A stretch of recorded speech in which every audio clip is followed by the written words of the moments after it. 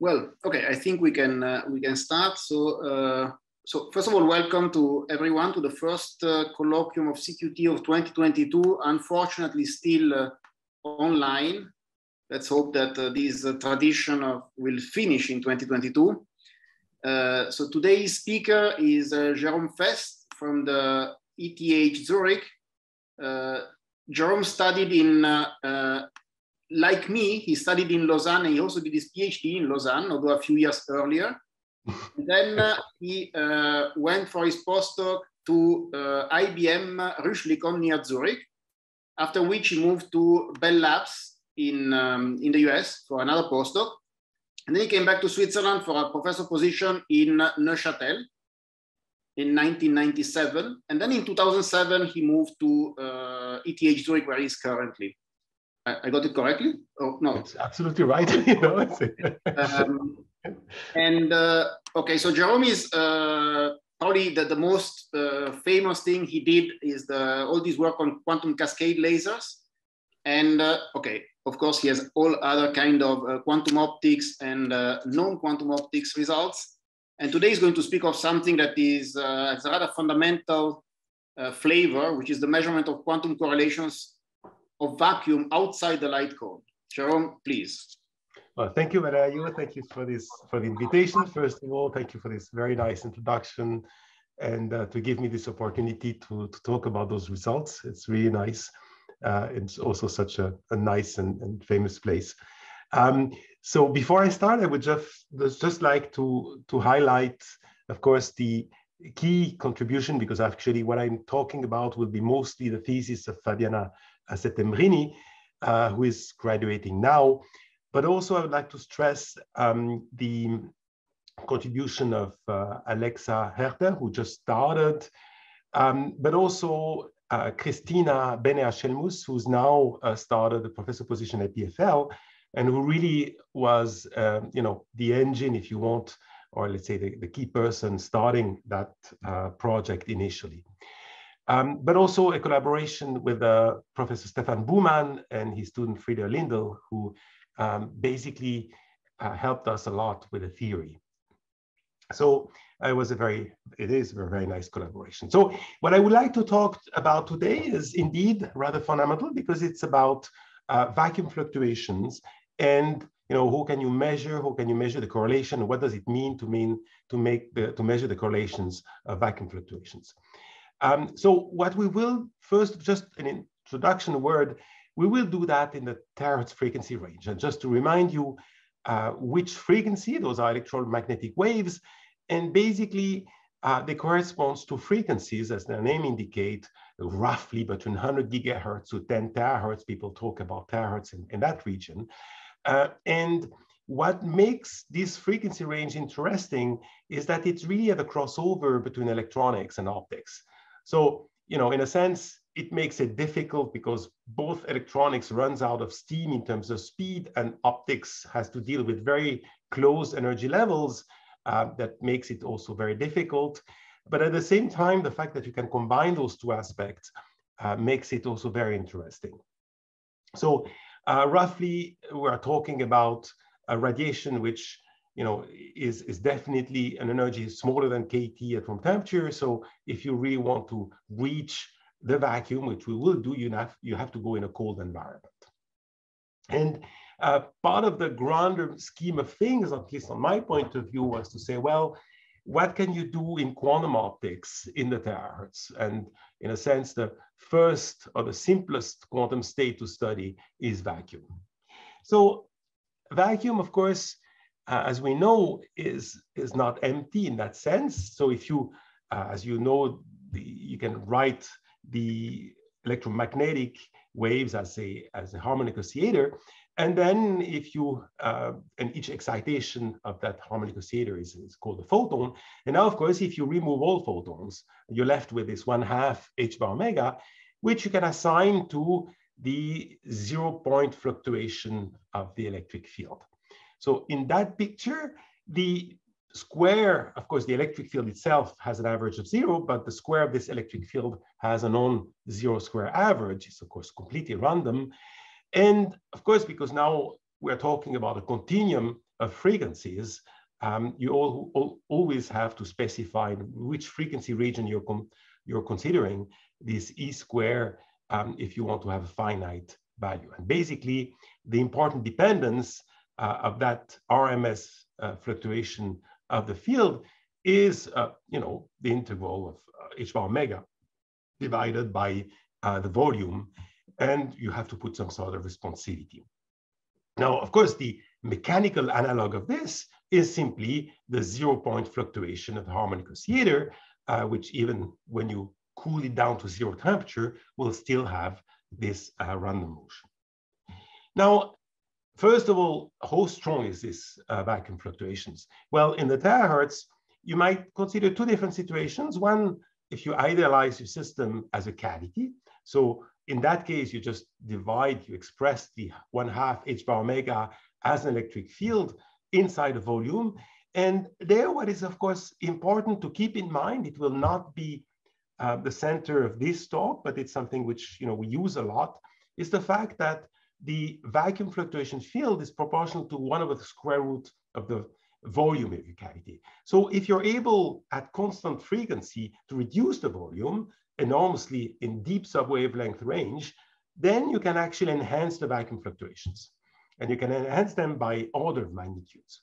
And now, of course, again, this is not the main focus of that talk, but the reason we are interested in the terahertz is because you can do this using metals, because you can do basically electronic resonators, LC resonators. And in the LC resonators, the field is inside the capacitor.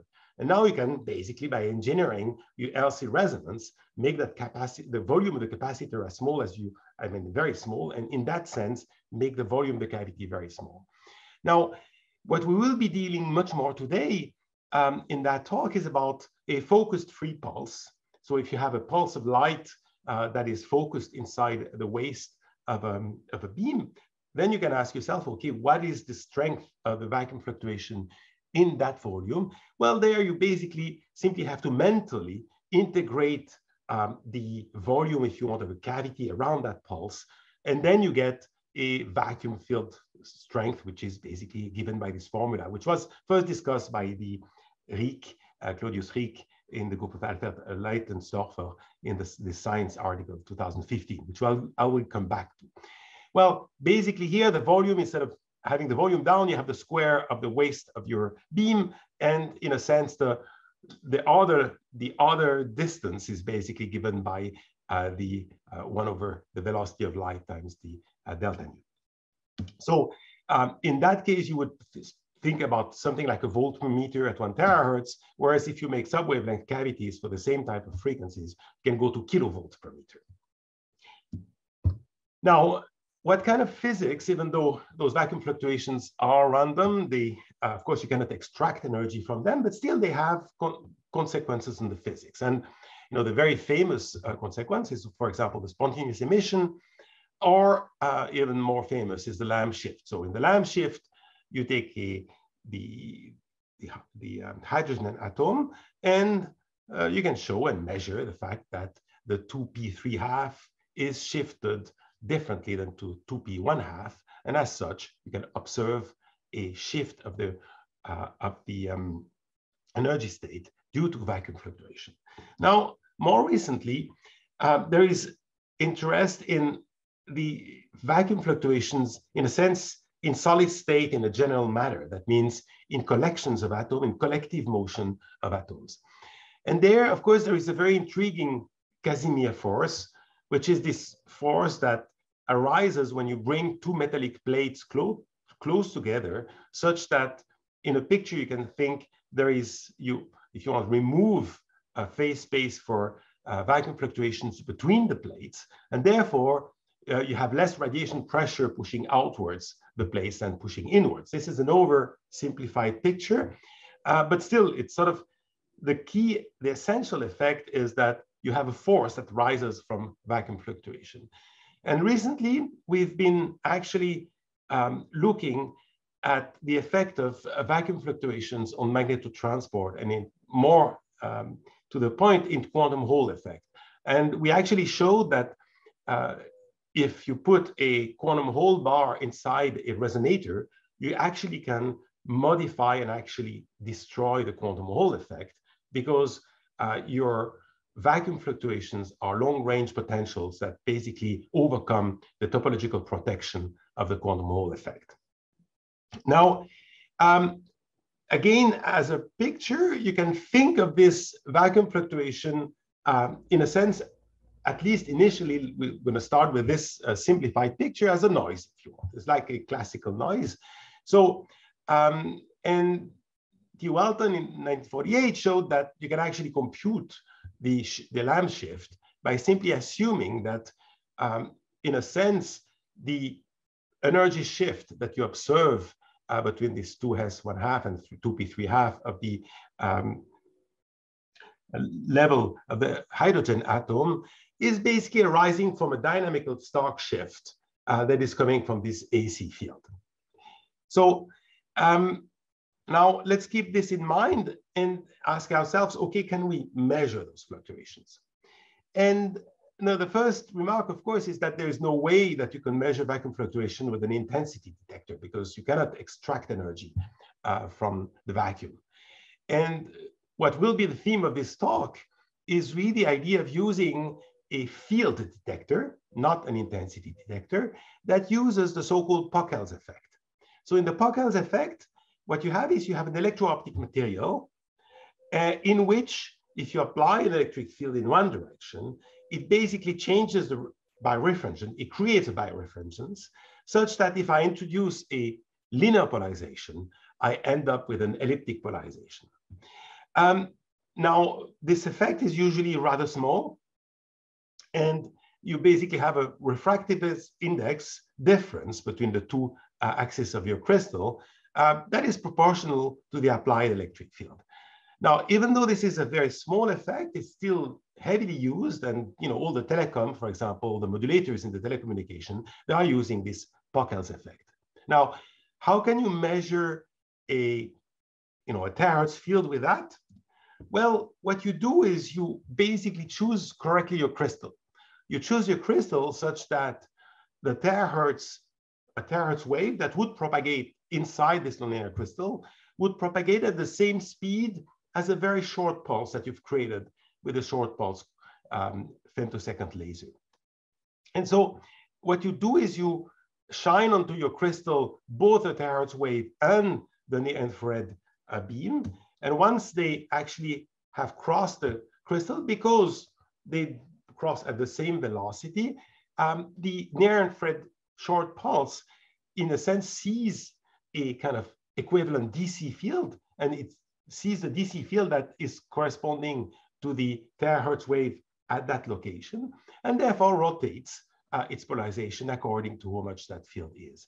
Now, you basically do an ellipsometry measurement afterwards using quarter wave and a Wollaston prism, and you detect the difference in the two, um, you know, you, if you have no, you, you, manage such that if you have no field, you have a perfectly uh, circular polarization, and any little field will transform this linear polarization to an elliptical one, and by measuring the difference between the photo current in both directions, in dual polarization direction, you get a direct signal which is proportional to the electric field. So um, what is actually interesting in that measurement is that you have a current which is directly proportional to the electric field.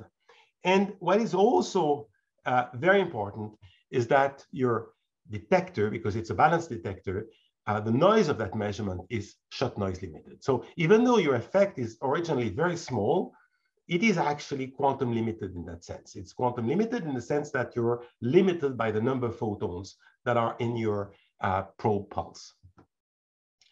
Um, so in that sense, the, the, two key elements that you have, because I'll come back to that at the very end of the talk, is that you have a phase modulation, and then you convert this phase modulation into an amplitude modulation.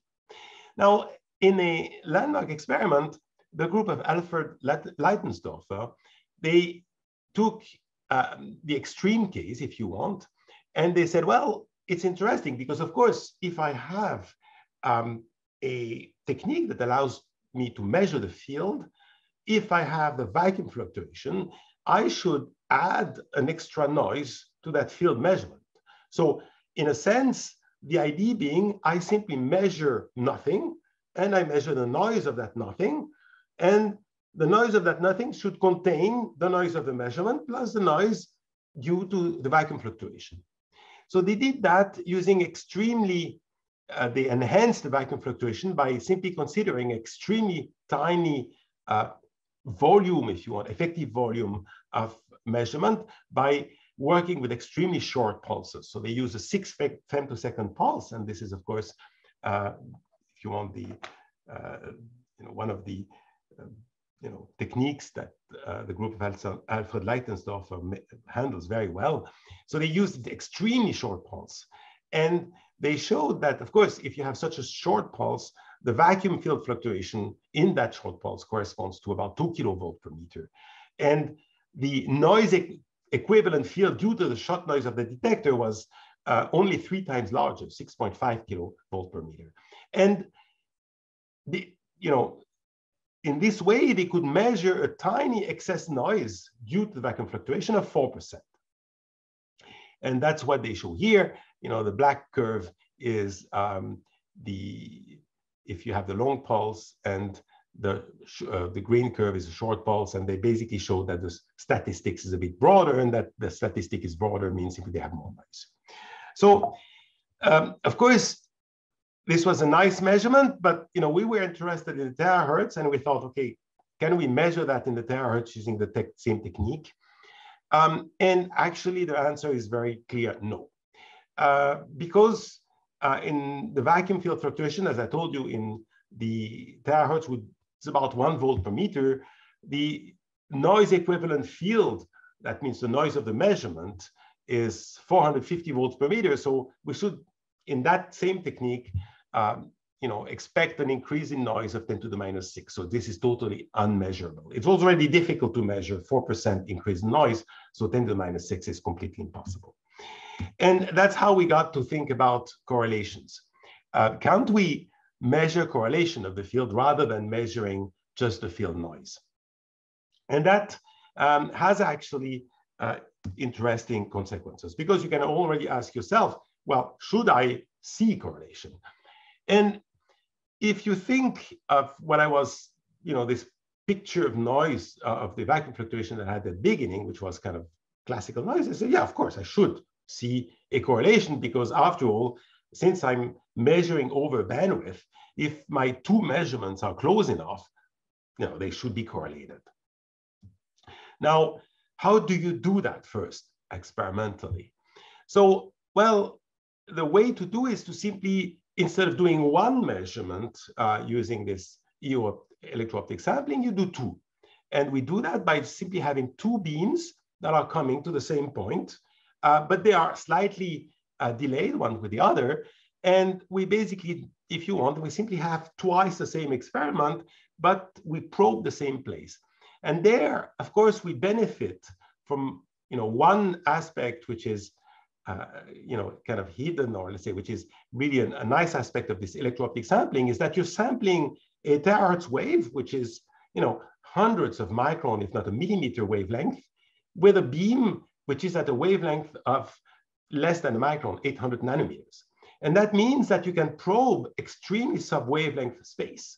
So if you focus your probe beam, you focus it to a size which is much smaller than the size of the beam you're probing. And therefore, it's no problem to basically sample twice the same beam and still separate the two, um, the two beams. So because we are dealing with this very large ratio in wavelength, we are able indeed to probe twice the same volume at two different times.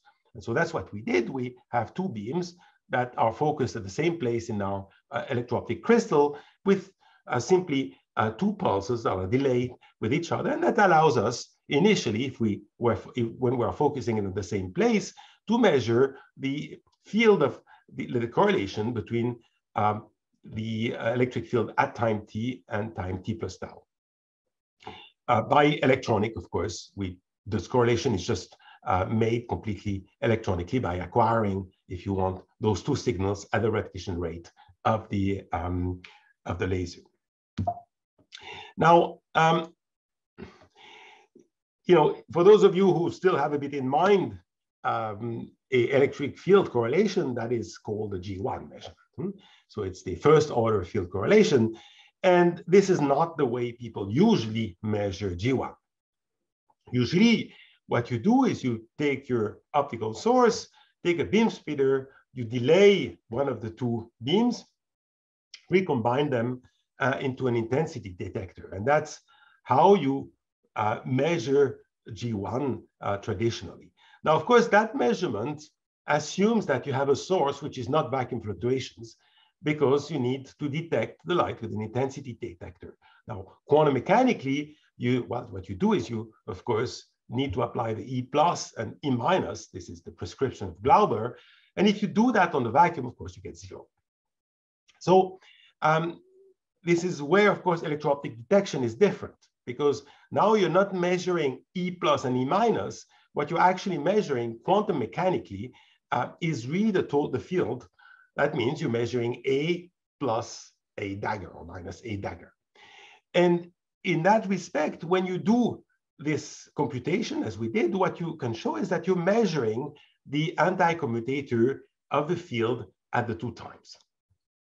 And because that anti-commutator contains A dagger A plus A A dagger, this thing, of course, is non-zero. And so if you, once you do that for not for just a single mode, but for many modes, you see that, and you do that for a thermal field, you see that effectively the signal that we should see in the time domain should be um, the sum of a contribution from the vacuum fluctuations and a, of course, a contribution that comes if you have a thermal field. And effectively what we're doing is we're measuring, if you want, the response of the, the of the signal, I mean, the response of the um, electro-optic sampling, which has, of course, a finite bandwidth. Now, how do you do that? Well, of course, since we want to measure also vacuum, we need to find a, you know, we need to do the experiment in an, in an environment that we can cool. And so that's why we do it in this uh, cryostat. It's actually an overkill because this is a di dilution fridge, but we do other experiments in the dilution fridge at the same time. So, uh, and what we like with that cryostat is that you can leave it run for many, many days and, and weeks. Um, because it's a closed cycle. So what we do is we send our pulse inside the cryostat where we have the uh, zinc telluride crystal. And if you look at the region zero to three terahertz, you see that when you actually cool down your environment to four Kelvin, um, you see that this is the blue line, the occupation uh, number of the photons goes down to zero uh, really quickly. So you don't have to worry about thermal photons there. Uh, and so basically what we have is we, we have a femtosecond laser. I don't know if we see something. Well, yeah, we, we have a femtosecond laser on this optical table. We go up to this other optical table, which is on top. This is really a tricky experiment um, where we have basically, we split the beam in two, delay one of the two, send to the cryostat, take out and measure in those two detectors, which are sitting on top of the cryostat. So of course, the signal is very small. Uh, so we basically have a, as I mentioned before, if you are sampling vacuum fluctuations with electro-optic sampling in the terahertz, your signal of noise is effectively 10 to the minus three. So your signal is uh, 10 to the minus three times the noise. So the only way to measure something is by integrating. And what we show here is that, um, you know, that's of course, uh, you know, the work of, of Christina Beneis, uh, she basically worked hard to remove all the external source of noise such that uh, you can integrate for a very long time. And if you integrate um, about uh, 5,000 seconds per point, then you can actually start to be in a regime where this Allan deviation of the field that you measure squared goes into the regime where you measure vacuum fluctuations. Um, and this is the, the first measurements that we did, first at room temperature, and at room temperature, of course, you're dominated by this uh, thermal population. And so now, you know, everything is at room temperatures. The zinc telluride crystal is at room temperature. So what we see, the correlation that you see here is the correlation of a thermal field inside the, a, a single mode thermal field. So it's only multi-mode in terms of now the, the frequencies, but in terms of spatial frequencies, a single mode. Um, and of course, we see a peak at zero uh, delay, and you know the correlation decays, and that gives you, in the end, this red curve if you do the Fourier transform, um, and that red curve represents, sorry, the convolution of the frequency response of the uh, setup times the uh, black body radiation uh, spectrum.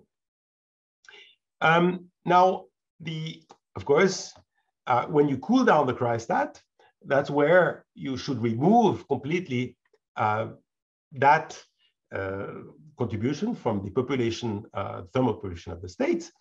And um, now you should see only vacuum fluctuation. And, you know, what, of course, in a sense, the tricky aspect of this is that, you know, we do those, this, we delay the two pulse and we change the delay such that we have uh, now this blue line, which is this uh, autocorrelation as function of time. And each time is uh, 11,000 seconds integration time. Uh, of course, this is not done in one shot. It's done in, in many shots and averaged afterwards. So it's basically a few weeks of, of measurement time. And it, when you do that, uh, well, uh, of course, you get this blue curve. And when you Fourier transform it, you see that you have a different shape, uh, which is, of course, what you expect because you see much more high frequency components because those high frequency components reflect the fact that vacuum fluctuation, of course, are stronger at higher frequencies than at lower frequencies. Um, and, uh, you know, if, if you do a, a, simulation at 4 Kelvin, you see that um, we can actually uh, predict pretty well what we observe. Now, um, the next step, if you want, uh, first of all, is to just at the time I started thinking, well, what are we doing now? Um, and I remind you that, okay, we're doing this extremely inefficient measure. Uh, but still, despite the fact that it's extremely weak, uh, effectively, you can very show very quickly that nevertheless, what you see is only due to the fact that by measuring, we actually perturb the system. Because if you think, well, if you just were measuring vacuum fluctuation, um, then your first measurement would give you a random number. And if your state were still in the vacuum, the second measurement should also give you a completely random number. So I should have basically no correlation between the first and the second measurement. And in that picture, the only reason why we do see a correlation is the fact that we actually um, perturb the system. Uh, and that is, of course, if you want, given by this a, a dagger term that you have in the correlation. So in a sense, even though what is a bit counterintuitive is even though we have a very weak measurement, still the fact that we do measure something is only due to the fact that we have, uh, when you do a quantum measurement, you of course always perturb the system. And so the second measurement is never done on the perfect vacuum state, it's, it's measured on the perturbed vacuum state. Now, the next step was, okay, to measure spatial currents. And so in that paper, in, the, in, in our first papers to, that we published two, two, two, two and a half years ago, or three years ago almost, uh, we did that measurement of correlation, spatial correlation. But we did it with relatively large beams.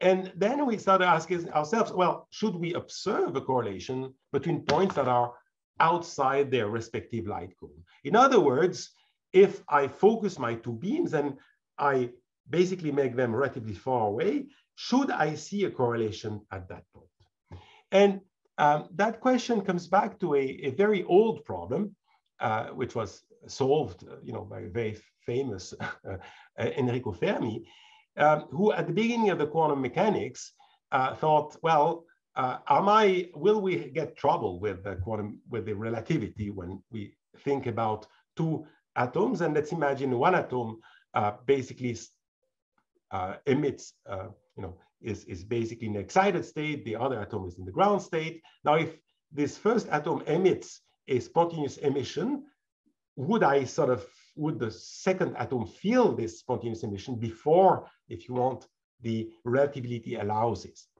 And he showed no, everything is fine. You have to wait a time, which is just a travel time between the two atoms, to start to see, of course, an effect of the first atom to the second. Now, there's actually a longer story to that paper because it seems he made an approximation that was a bit um, you know, that was not closing all loopholes. And then in the 80s, people sort of worked again in this problem.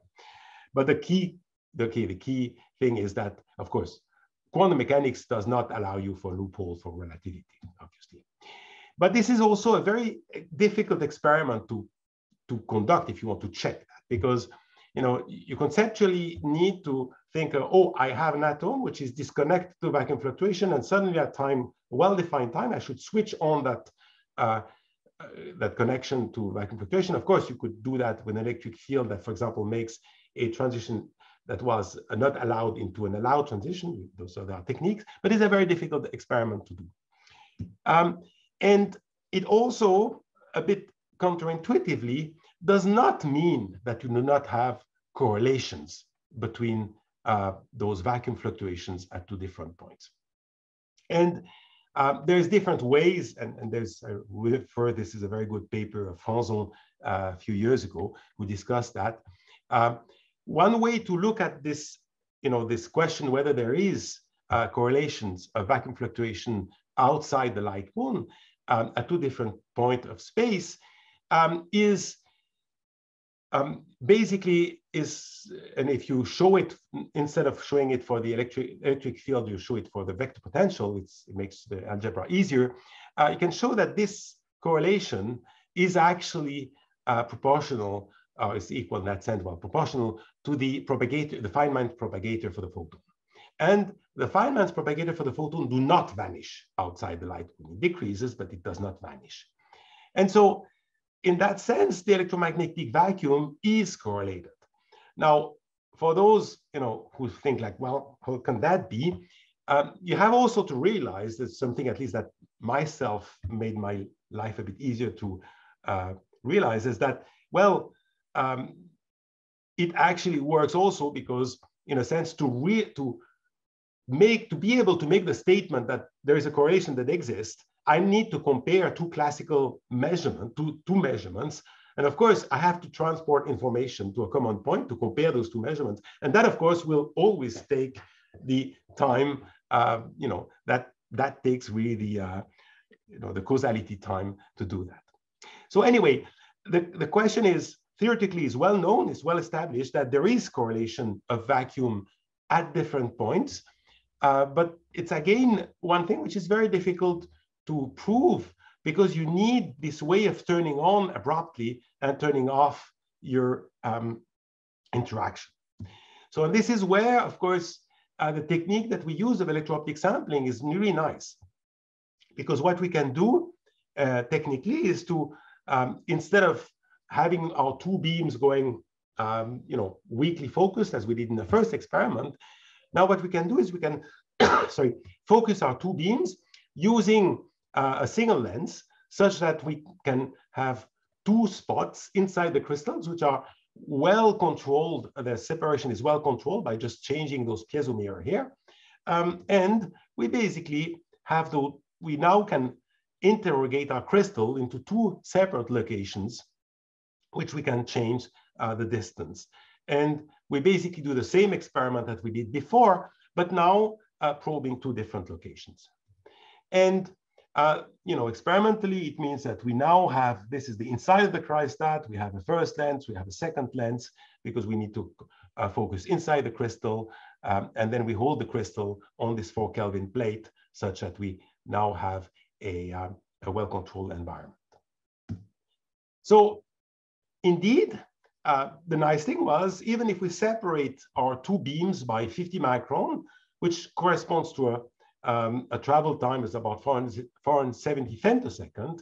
Uh, even though our pulse is a bit longer than what we uh, send initially, it's, it's, up to 200 femtosecond, we basically st still clearly see a relatively strong correlation. Uh, and actually, we see a peak of correlation at the zero time difference. So in a sense, we see the peak of the correlation when principle, uh, the two pulses are farther apart from each other in, in time space time. Now, of course, the difficulty is that those are not points. So when we talk about two pulses, there are two uh, Gaussian beams that are focused over 12 micron beam waist um, at 50 micron from each other in, because each of the pulse is about 200 femtosecond long, it's not, uh, it still has a time uh, dependence. So uh, that's where, of course, um, the con theoretical contribution of, of uh, the group of Stefan Buhmann and, and, especially his very bright student Frieder Lindel, uh, worked because what they did is they wrote um, a, an you know, a, a, you know, a, a macroscopic quantum electrodynamics approach using Green's function. And that first of all allowed to introduce all those, um, you know, those experimental parameters, the direction of the beam, the focusing and so on, uh, but also uh, written in a form that allows you then to separate the different contributions coming from the causal and non-causal contributions. And so the first thing is that when we do the Fourier transform of that um, autocorrelation trace, of course, we get the spectrum. And that spectrum is this full line here. And you see that we have a positive uh, correlation for all the frequencies. Uh, sorry, the um, horizontal axis has now disappeared. Unfortunately, it's like two terahertz. Uh, and this is one terahertz, two terahertz, I think, or one terahertz, one and a half terahertz. Um, and now it goes negative uh, over these higher frequencies which may sound a bit strange, but it is really due to the fact that, of course, you can have perfectly a positive co correlation or negative correlation. Um, we had a bit of an over too strong signal in the low frequencies, which I don't want to take time. We actually showed you can remove that contribution. Uh, we estimated it. And really what is impressive is that the theory now agrees very well with what we actually are measuring. And moreover, um, when you do split the contribution of that correlation, which, as I said, is not, uh, it can be positive and negative, what we saw was that the causal contribution, which is in red, which arises from um, the region of space-time where the two pulses are, if you want, within, within their light cone, um, is actually smaller and has the opposite sign of the non-causal um, contributions. And now the non-causal contributions are the green part. And they are both in this frequency range, both causal and non-causal have the same sign, whereas uh, in this lower frequency region, uh, they have opposite signs. So in the end, we clearly see that we do see the correlation and they are really dominated by the non-causal contribution. So, you know, what we've done here is that we've observed those correlation uh, of these vacuum fluctuations outside the light cone. And because we see correlations uh, in a pure state, well, you could say, well, since you see correlation of a pure state, it means that that state is entangled. So what is next? How, how could we move further? And there we just like to bring a few ideas that you know are not especially mine, but they are in the literature. And I found them quite interesting in how we connect to this work to other works. So first of all, uh, I've shown you so far uh, the vacuum fluctuation uh, in a rest frame. Now, if you think of vacuum fields in an accelerated frame, this, of course, um, in an accelerated frame, you see additional effects, which are really quite fascinating. One is the dynamical Casimir force, uh, um, which means simply that if I have a mirror that I'm moving and accelerating very fast, uh, I can actually generate a radiation from that. And as soon as you accept the fact that, of course, if you're an accelerated frame, you will actually convert, if you want, um, the vacuum fluctuations into real radiation, um, you see that, of course, you have the same effect at the edge of a black hole. And at the, at the horizon of the black hole, this is the famous, uh, you know, predicted Hawking radiation, um, which is creation of uh, pairs of particles uh, at the horizon, which one goes into the black hole, the other one flies away. And um, a very interesting, at least Gedanken experiment, uh, which in the end was really meant to try to understand better this Hawking radiation was the Unruh de Witt detection. So here in the Unruh de Witt detection, you imagine that you have a two-level system that has constant acceleration. And that two-level system in constant acceleration will see actually a black body radiation and therefore will has a finite uh, probability of getting excited. Now, in this very nice paper that I really can only recommend of uh, the group of Franco Nori, um, the, they actually showed that those three effects, um, this dynamical Casimir, this Hawking radiation, and the Unruh effect, they mathematically are all related, and they are related to uh, something that actually you can I mean, manufacture quite easily and test quite easily, which is a parametric, optical parametric amplifier. and that optical parametric amplifier is, you know, the equivalent of a child on a swing. So if your child is standing on a swing, uh, it can actually entertain the motion of the swing by swinging himself, its center of mass, at twice the frequency of the swing. Um, and now that, of course, the question is if you say, oh, uh, can I start the swing? Well, in principle, in the classical sense, you can't, because if there is no motion at the beginning, you can move up and down as much as you want, it will never start. Quantum mechanically, however, because of the vacuum fluctuation, you can actually start from vacuum fluctuation. And what you get is this pair of photons, signal and idler, that corresponds to a two a mode squeezed state. So why is it relevant to our measurement? Well, it's because electro-optic sampling can be seen as a special case of a parametric process. Uh, because effectively, what we are is we're coming with a near-infrared probe, and we create a pair, one which is a near-infrared probe polarization and a terahertz polarization uh, from the terahertz vacuum. So in that sense, we are also, if you want, extracting photons from the vacuum, or you're amplifying vacuum fluctuation, if you want. So there are actually parallels. Again, this is not our work. This is uh, the work of um, also the group of uh, Moskalenko uh, that showed that you know there is a strong relationship between the Unruh-Dewitt detector, which is a two-level system, and our electro-optic sampling. Even though, of course, one is a two-level system, we are actually dealing with broadband femtosecond pulse, um, and of course, the Unruh-Dewitt detector is point-like. We have a extended object. But what is important is that those common things, which is the linear coupling with the local electric field, um, the smooth turn on and turn off of the interaction, and an event horizon, uh, which is introduced by the fact that we switch on and off the interaction as we come in and out of the uh, nonlinear uh, crystal.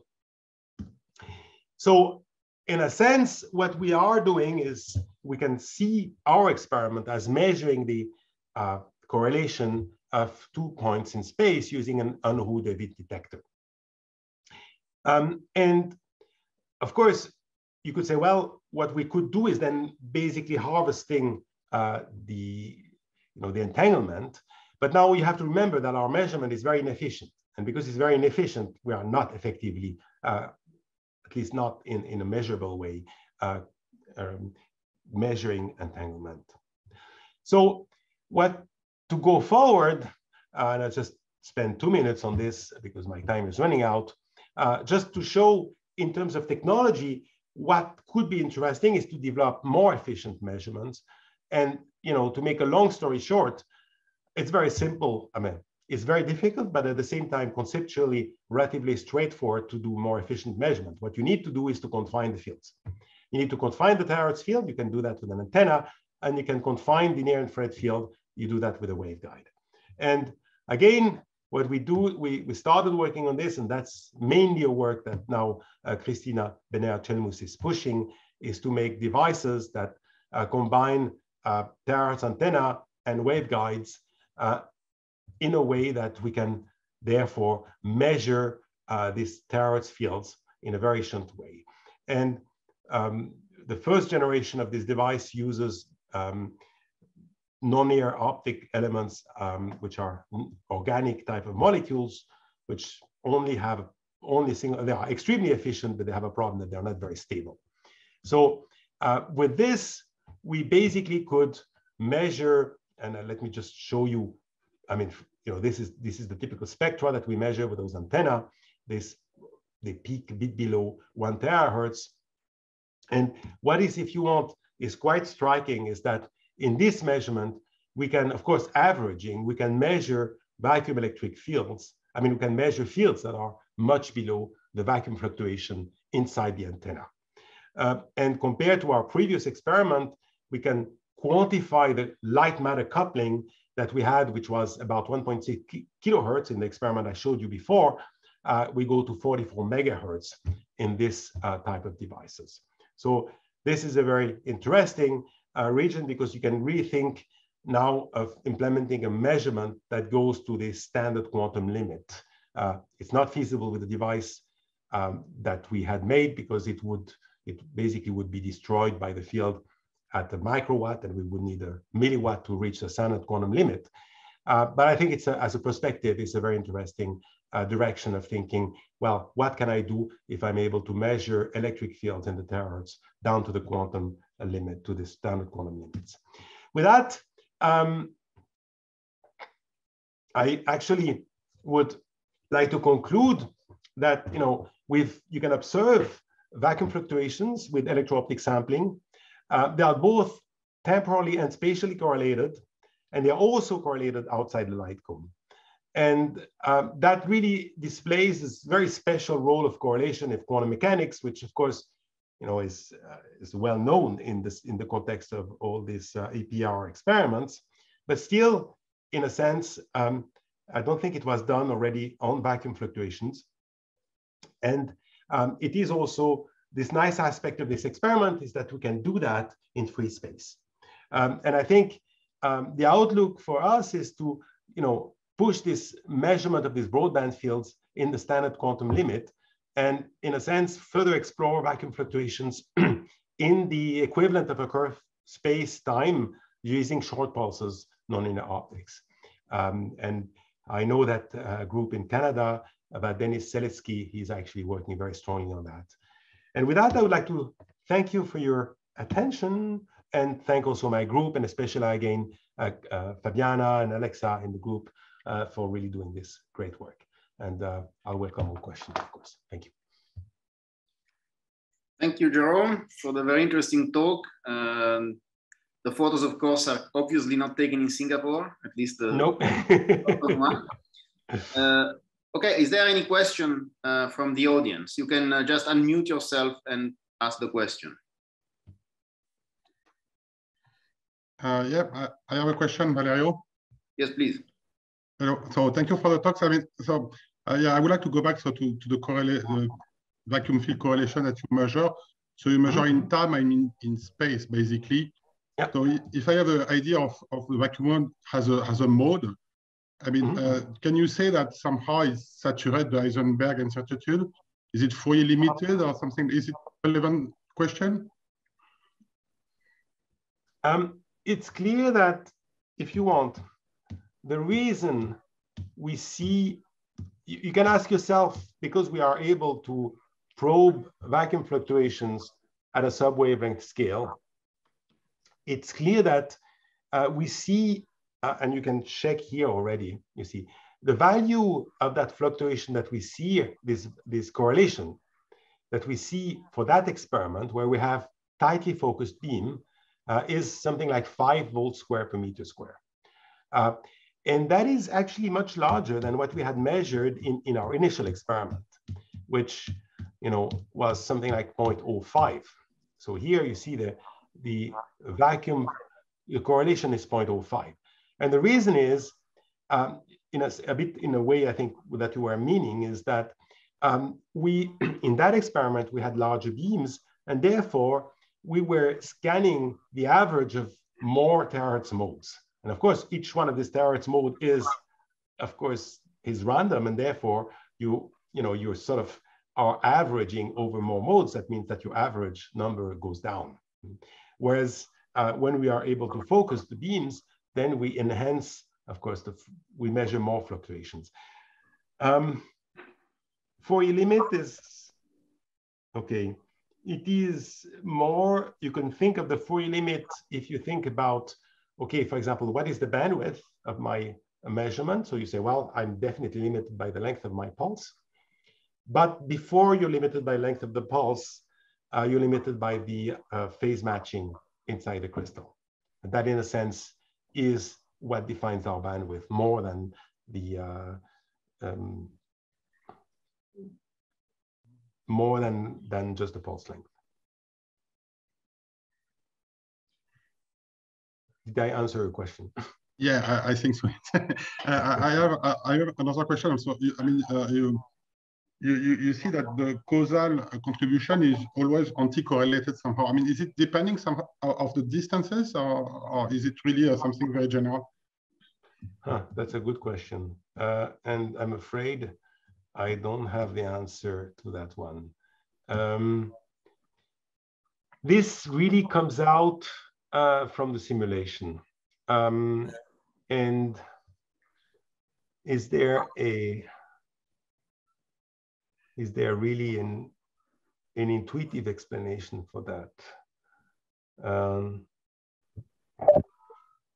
you could maybe you could argue that if you have an anti-causal, if you have a causal situation, it means you basically have a propagation time. Um, mm -hmm. And that propagation time then will shift perhaps the, the, um, the phase uh, because you start to be comparable to half the wavelength. I don't know if that is that that could be an explanation. That I honestly that I'm not sure.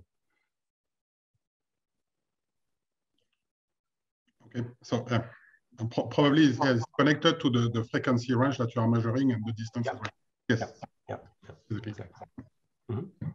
Thank you. Okay, thank you, David. Uh, any other questions?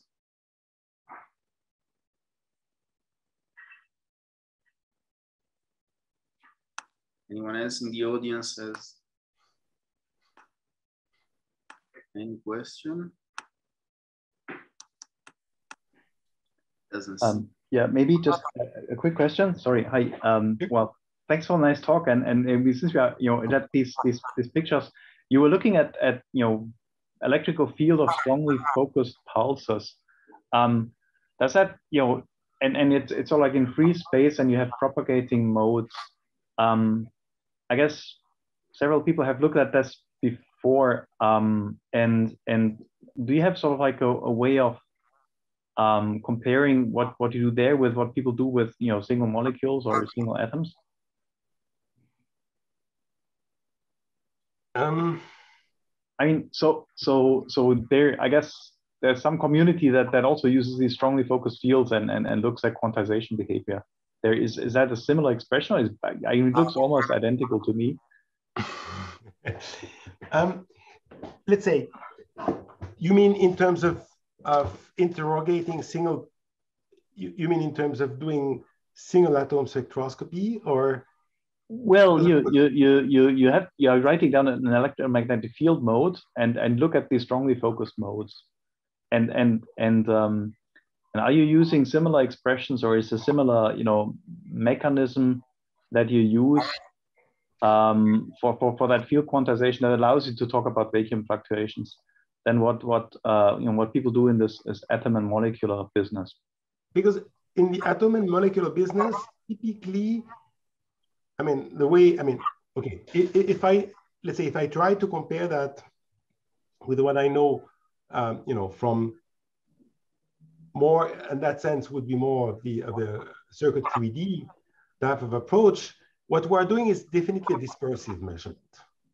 So we are not, you know, we are interrogating at a at a frequency which is totally different as all the ref all the because we're you know exploiting this nonlinearity, this chi2 effect, and that chi2 effect is really a uh, completely off resonant effect. Huh? You know, no, I, that, but, but I, I, I, I think I understand that. No, just no, the question sure. of how you do the, the, the, field quantization must be, you know, very ah. similar, I guess.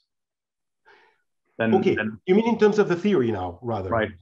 Okay, yeah. I mean, the, the theory is really at that point very, I don't want to say straightforward, but mm. it's, you know, it is really this macroscopic uh, electrodynamics is really, uh, it's, the, I mean, it's not easy to do it right, but it has nothing conceptually special. Okay, okay. So so so so it, it, it's really a straight standard. I mean, yeah, that's that's what I what I thought. Yeah, yeah. sorry, I, I was, I, you know, I didn't realize. But of course, I mean, you should talk to the theoretician. No, no, I. oh, okay, okay. Uh, and I don't want to sort of downplay the difficulty what they do. No, no, I, I guess you, you, you quoted some, some, you know, observations from the Leitenstorfer gang, and and uh, you know, thought, okay, uh, that that's sort of like, I, I guess, very prominent in the the short pulse uh, community. Um, yes. And I was just wondering, you know, whether there yes. was a comparison between, you know, what, what the short pulse community is doing yes, yes, okay. versus what, what you know, atomic okay. so, I mean, been doing. Absolutely. The, you see, the big difference, if you want, is that we are still in the in the fully perturbative regime, meaning our pulses are short, but they're not intense in that in the sense of intense field, because we are measuring. If you want, our measurement is completely scalable down to zero power it's just that we would need to integrate for longer times. Whereas mm-hmm. In, in the experiments and nonlinearity, I mean, starting from the second paper of Leitenstorfer, they try to show squeezing. And of course, squeezing, that is, of course, an inherent high field.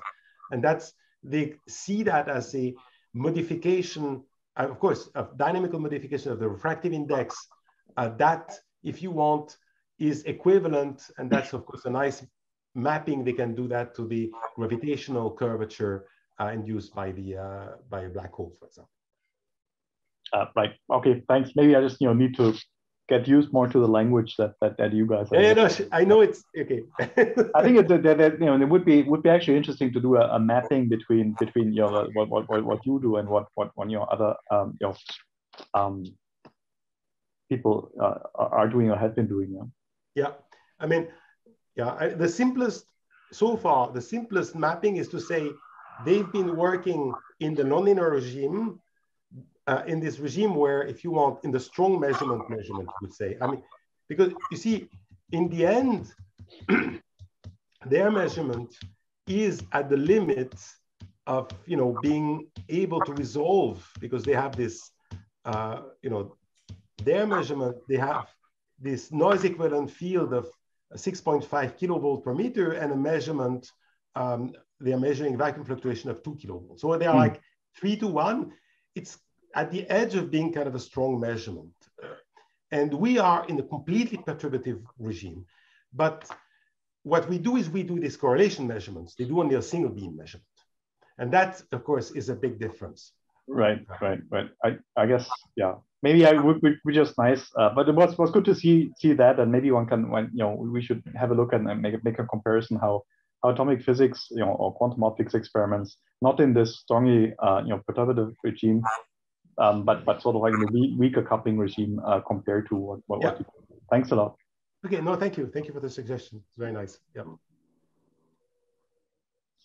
Okay, do we have another question? Uh, maybe a last one.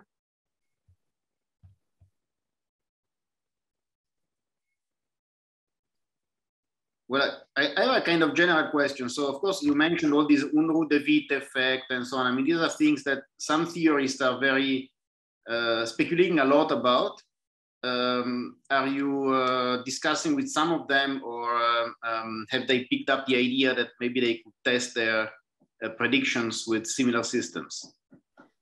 I think there, honestly, it is the theory group around Alfred Leitenstorfer, so Moskalenko and uh, uh, and uh, Guido Burkard, mm-hmm. who are really pushing, if you want, that edge in the theory.